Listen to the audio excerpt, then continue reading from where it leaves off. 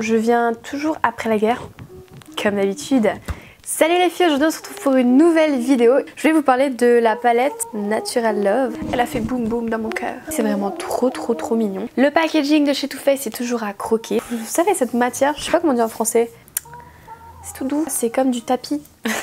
cette palette est dotée d'un grand grand miroir il y a 30 eyeshadows donc c'est franchement beaucoup par rapport aux précédentes palettes de chez Too Faced comme la Chocolate Bar, la Sweet Peach qui contiennent 14 à 16 fards. Là vous en avez 30 donc elle est forcément un peu plus chère, 59 euh, dollars donc en euros c'était dans les 60 et quelques mais bon elle est quand même complète. Et donc c'est un peu des tons rose gold comme ça, euh, très nature, très nude. Il y a 7 mat donc on va swatcher ça pour voir si la pigmentation est là. Les premières impressions en live avec vous, on est là. Je vais swatcher celle-ci, c'est Nudie. Je prends toujours la plus bizarre moi comme nom.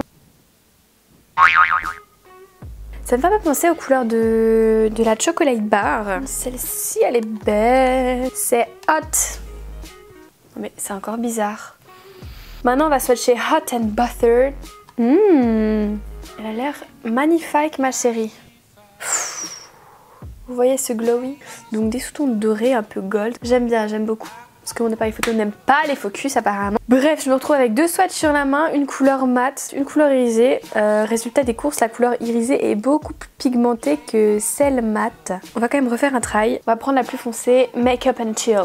Ça j'aime bien quand même, ça j'adhère. Ah, voilà, là la couleur elle est déjà plus. Mais quand même, ça reste quand même moins pigmenté que les irisés. Bon, on va rester une irisée Don't Settle. Une espèce de silver, marron. Regardez-moi ça. C'est beau ah, ils sont caca mes swatchs, hein.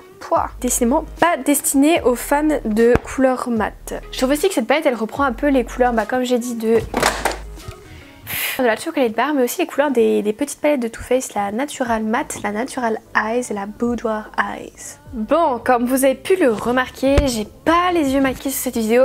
Ce n'est pas pour rien. Je pensais vous faire un petit euh, make-up en live pour que vous puissiez voir vraiment une bonne first impression. C'est natural.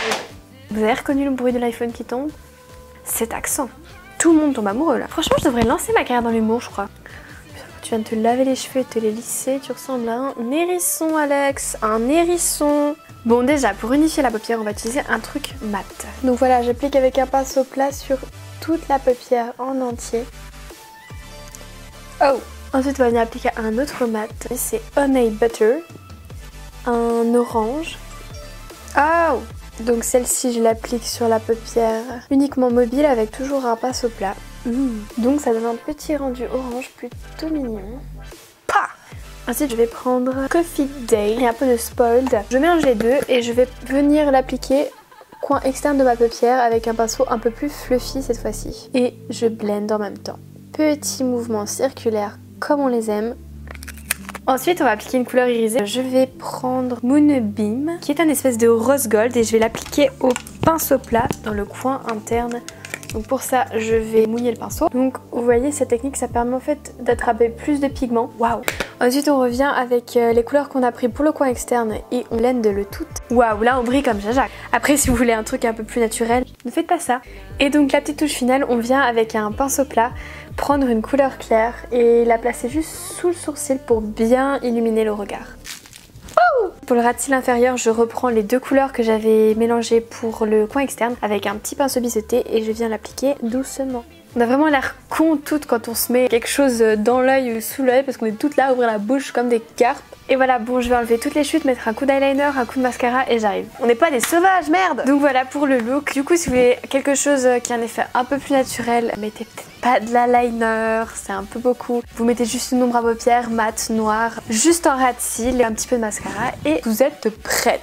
Franchement j'aime beaucoup cette palette du coup puisque bah, les couleurs au final elles se fondent très très rapidement. Niveau irisé je trouve que la pigmentation est vraiment. Pouah, ça envoie quoi. Et elle fait son job, je vous la recommande si vous avez l'occasion de passer à Sephora, vous la tester et vous m'en direz des nouvelles. Et avec ce genre de look vous pouvez vraiment utiliser un rouge à lèvres bien flash, bien foncé. Donc on va essayer, moi je vais prendre le Vice de chez Urban Decay, teinte WSM. Donc voilà avec ce genre de make-up vraiment naturel au niveau des yeux vous pouvez vraiment vous lâcher au niveau des lèvres. Voilà les filles, cette vidéo est déjà terminée, on arrive au bout. Dites-moi ce que vous en pensez dans les commentaires, si elle vous tente, si elle vous tente pas. Likez si vous avez aimé, c'est important.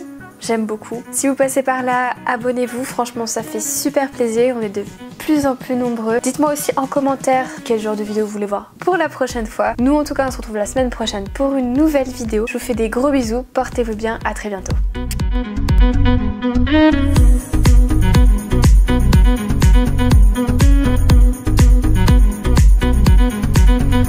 Mm-hmm.